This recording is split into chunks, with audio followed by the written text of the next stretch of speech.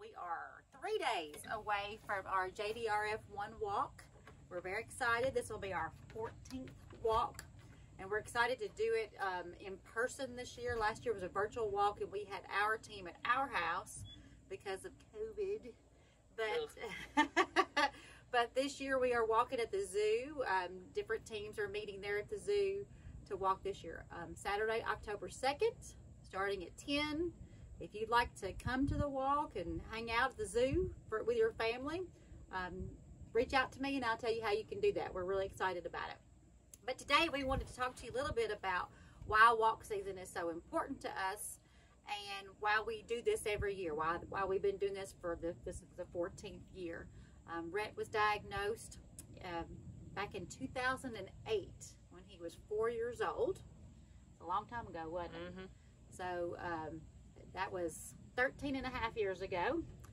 Um, and so I wanted to kind of give a refresher for those of you who don't know our story. Um, I've said it a lot, but some of you may not know our story about how uh, diabetes came into our life. So like I said, uh, Rhett was four years old when he was diagnosed and he was in preschool, hadn't gone to kindergarten yet. And um, fortunately, we had a, a, sweet, wonderful preschool teacher um, who knew a little bit about type 1. Her sister had type 1. And so um, she had pulled me over a couple, couple days and said, you know, Deborah, Rhett is really, really thirsty today. He's really just kind of tired and thirsty. And, you know, I would just brush it off and say, oh, he had pancakes for breakfast or, or whatever.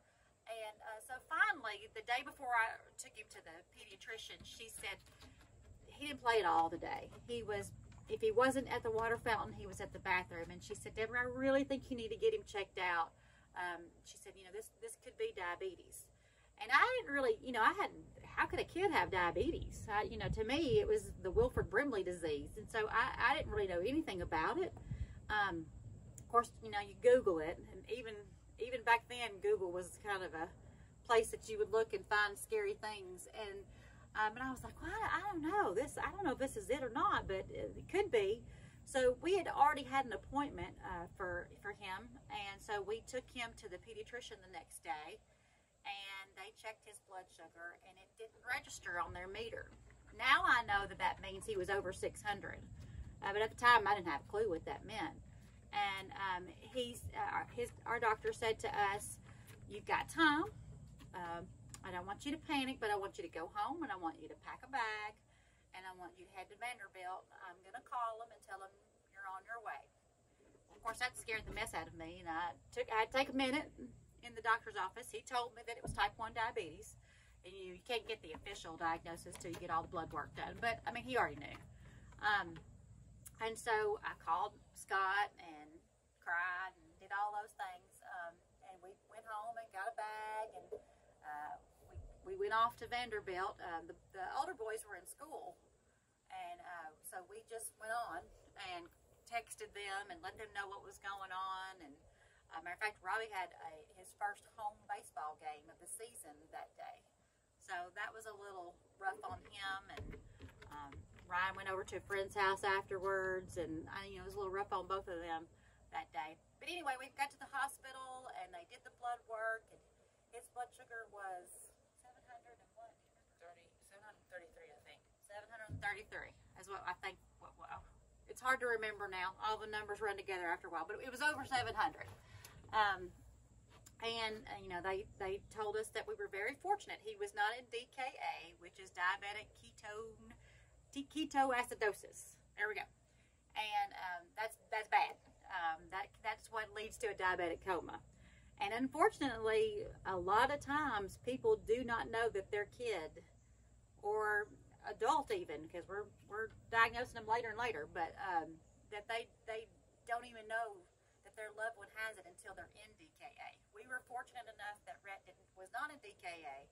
Uh, the unfortunate part about that was they didn't keep him. So they, um, they did an IV, they did a drip, and got him on some insulin.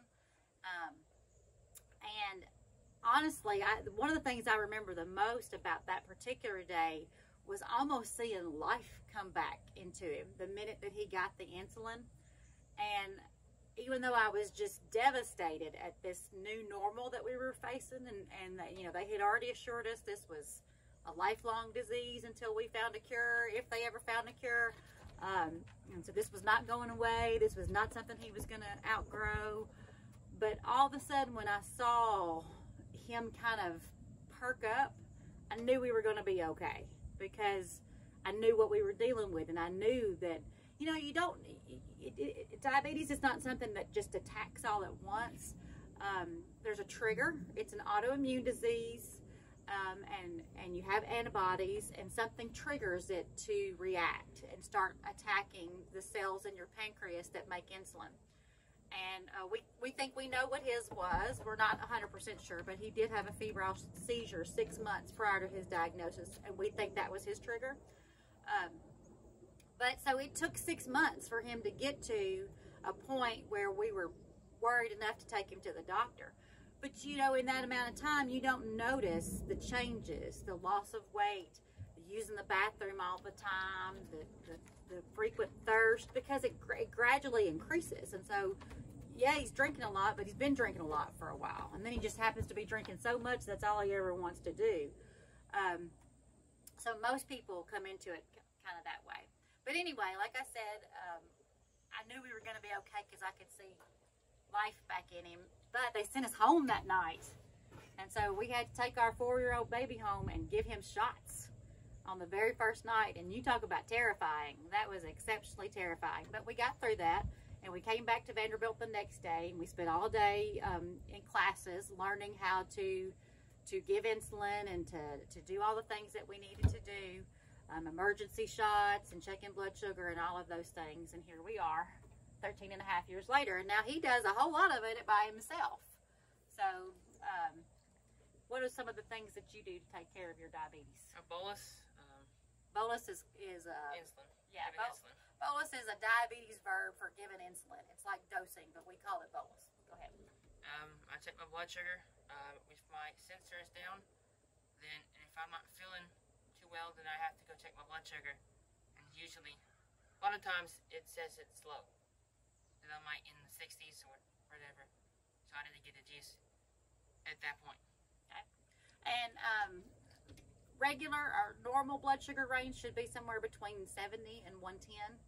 Um, for Rhett, uh, his doctor would like it to be um, anywhere between 80. They like it to be a little bit higher. 80 to uh, his his range was 80 to 180. Now we're they like us to be closer to 80 to 150 if possible. Um, that's not a very easy goal. no, but right, but we do the best we can. Um, on, on average, he does that. On average, he keeps it under 150 but there's a whole lot of roller coasters going on in there in the process because yep. everything affects blood sugar, right? Yep. It's not just the food you eat; it's the mood you're in. If you're in a bad mood, it might affect it. If you're really excited, it might affect it. If you are if you're going through a growth spurt, it really affects it. Mm-hmm. Sickness affects it. All kinds of things. So. Um, so it's a it's a kind of a roller coaster thing. Robby's story is a little bit different. Robby was a freshman in college at MTSU and he had just finished his first year of college and he came home and we stayed home for the summer and we had a whole lot of water left because we had done a diabetes walk at hendersonville high school earlier in the spring and i had i don't know three or four cases of water left and not too long after he had been home i, I kind of did that little mama fussing thing i marched into the living room one and i was like where is all the water gone and robby just kind of laughed and said well i've just been thirsty lately and I, I have I've had most of it. And I said, well, you probably ought to check your sugar. And I was just really kidding. But that night we went to bed, and Robby was still because you know he was a teenager. He was still wide awake, and he went and borrowed Rhett's uh, meter and checked his own blood sugar, and it was over 200, 250, I believe. And he um, didn't wake us up. I'm sure that was a um, jaunting thought about what he was about to experience because he knew. Um, and he told me the next morning. Um, and so I was, even then, I was in denial. I was like, well, you didn't check your finger right. I mean, your sugar right. You must have had sugar on your finger or something. Go wash your hands. So I made him wash his hands. I took an alcohol wipe. I wiped his finger off. I checked his sugar, and it was 252. I remember that. 252. So um, I knew what we were dealing with, and I called Vanderbilt, and off we went. Um, and the uh, uh, the executive director of JDRF met us at the hospital. That's how important JDRF is to us. Um, and so uh, those are our stories about how we we uh, live with type 1 diabetes. Our middle son Ryan does not have it, thankfully. Um, but we still have to be really careful because we have friends that were diagnosed well into their 20s. Ryan is 26. I've even heard some people being diagnosed in their 40s and 50s and even 60s. Um, it's just, we know more about it now. Um, and you know how autoimmune diseases are kind of running rampant these days? We're not really sure why. Uh, so it's, it's much more common than you might think. So that's our story of diagnosis, and we've been living with type 1 in our family for 13 and a half years. Robby's had it for 11 years. Um, and we've been trying to find a tangible way to make a difference. It, sometimes that, that disease feels like it's just completely in control. And one way that we have felt like we could have a little bit of control is by doing the diabetes walks. And so we've done that every year, and we're going to do it again this year. So we're excited about that. Um, I'm even, it's walk week, so I've been wearing my JDRF shirts whenever I can. I had a Team Kiss My Pancreas shirt on yesterday. Later on, I'm going to do my color streak nails. Shout out to Amanda. Thank you very much. I've got my gray and my blue, and then I've got my awareness ribbons that are going to go on over that because uh, type uh, type 1 diabetes awareness ribbons are, are come in blue and, and gray. That's our colors for type 1 diabetes awareness. So I'm going to have my little ribbons on my nails for that. I'm excited about that. so, Rhett, let's talk real quick about some things about diabetes. What's one thing that you just really do not like about diabetes? Lows. Low blood Lows. sugar, because I have to stop what I'm doing. Like if I'm throwing the football and it goes low, then I have to stop and wait for 10 minutes. At least, right? At least. Because sometimes they're stubborn and they take a while. Yes. Uh, so, like, how do you feel when you're low? And I feel like I'm going to fall, whatever. Feel shaky? Yeah. Yeah, sometimes like you're dizzy. Mhm. Yeah. A low blood sugar will make you feel sweaty and shaky and dizzy. I think most of us have had where we hadn't had enough food and we've got the, the shakes. Those are that's a low blood sugar. Um, and severe uh, low blood sugars can come on quickly and could cause serious problems. You could pass out. You could have a seizure. In ultimate cases with low blood sugars, you could die. Um, we've never had one that's scary. Thankfully, we, we have, and because of walks and and people who raise money, we have technology that helps us get on top of it before it gets that bad. He has uh, he wears a continuous glucose monitor, um, and it updates every five minutes using interstitial fluid. Um, so it's not quite as accurate as blood sugar, but it's really close. It's only behind just about five minutes, and so um, it, it uh, lets us know. And so we do so we try to do something about it before it gets too low, right? We we see the trends, and if we can catch it, um, we try to do it. But it's a really pain in the summer. Like it, you go you go lo- low a lot in the summer. The heat makes a difference. You're, you're more active. You're swimming. You have to get out of the pool a lot for it, don't you? And that's kind of a pain, Yep. right? Um, what is one thing that has been a positive about having type one diabetes? Um, Hard to think of any. Yep. well, we've met some great people. yes, we've met some great people Yeah. over the years. Right. We did. We did catch his appendicitis. oh, yeah. I remember, I remember that. because his blood sugars were high. And we took him to the hospital thinking he had some sort of virus, and I was just gonna. He had ketones, and I was just gonna get an IV. And I thought I had it all figured out. I Was just gonna flush those ketones. We were gonna be there a few hours, and they were gonna send us home. Well, fortunately, the doctor didn't have tunnel vision like I did, and they checked, and he had um, his appendix needed to come out. And because we got there as quickly as we did, because the blood sugar alerted us, it wasn't an emergency surgery. We had time, nothing ruptured, and everything was fine. However, he did have to stay. It was, you know, it was a, it was a fairly simple surgery, but he did have to stay overnight because he did have type one diabetes, and they wanted to make sure that everything was safe. So, okay. So, what is one thing that you would do if we got a cure for diabetes? Drink regular Coke. Drink regular Coke instead of Diet Coke. Yep. I can understand that. And you can Drink regular Sprite, too. and regular Sprite. I get that. I mean, we use those in case we have a low occasionally, but we don't really have a bunch of those in our house, do we? Nope. So, and uh, we, we use juice boxes most of the time. There's a juice box shortage going on right now. Yes, there is. There So, is a uh, box shortage. which is the craziest thing. It's almost as crazy as toilet paper, but there's a juice box shortage. Um, we, we were fortunate enough to find a case on Amazon that was in stock, and we got ours, so we're good. But um, anyway, just the craziness of that. So um, let's get back to the walk. Saturday, October 2nd. It's at the Nashville Zoo starting at 10. The walk is from 10 to noon, but you're welcome to stay all day.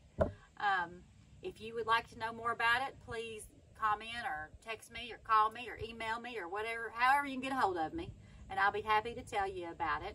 Um, we've reached out to some new families this week that I think are going to get to join us that um, haven't been able to participate because since September of 19 we haven't really gotten together because of COVID. So, so some of the people that were diagnosed in that time haven't had any community whatsoever other than maybe social media. So I'm really looking forward to, to some, some type 1 families getting to meet other type 1 families. And we'd love for you to come support those families if, if you can.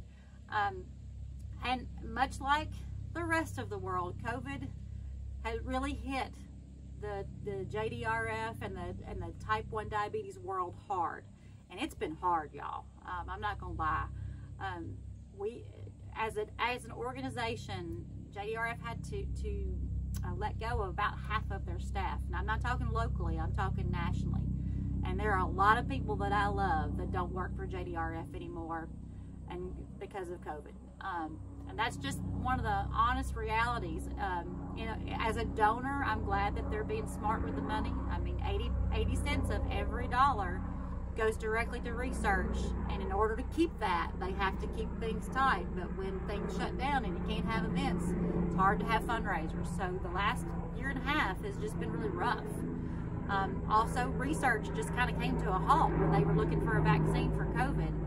And so we're a couple years behind. We're not behind, uh, but we kind of stopped where we were in 19 in the early part of 20. And we're just now getting back and grooving. And that hurts when you're you're talking about life altering research, the projects that were going on. And some that have already been in the works for several years, just having to stop. So we took a hit. We took a hit financially, we took a hit personnel, we took a hit research wise. And as somebody who really wants their kids cured quickly, it's hurt my feelings. I'll just be honest with you. I'm ready to get back to pushing research to what it, where it needs to be, and we need your help. Our goal for our team is $10,000, and I checked just probably about 10 minutes before we did this video. And on our site, it said we had over $8,600, no, over $8,700, and I have received 300 more dollars in the mail, so we are over 9,000. So we are less than a thousand away from our goal and we have until Saturday. Actually, we probably have till a little after Saturday, but we can hit it. Um, I know a thousand dollars seems like a lot, and I'm going to tell you, a week ago, I didn't think we were going to get there. We were probably like three thousand dollars a week ago. That's how much we've raised in a week, um, and so I know we can do it. And we just it just takes people like you who who hear our story and want to make a difference, and you can make a difference. We have seen personally the people that walked before us and the stuff we've done in the middle, how much it has changed technology for our boys. And it has made life so much easier. You know, we used to get up at 2.30 every single morning to check his sugar. We don't do that anymore. We get to sleep unless alarms go off. And that's because of the technology and thanks to people like you who have donated every year. Your $5 does matter. It really does. So we would love for you to, to help us out if you've already given, I thank you so, so much. And if you want to give five bucks more, I will take your five bucks. If you haven't given, please consider, please prayerfully consider if you could help. And I promise you're giving to a great organization. Over 80 cents of every dollar goes directly towards research. So thanks for watching. I know this was long. Rhett, thanks for hanging out with me. You're welcome. Thanks for editing the video You're welcome. Part of his videography class in homeschool today. And so, thank you so much. Thank y'all for watching. We hope to see you Saturday, and let's cure this.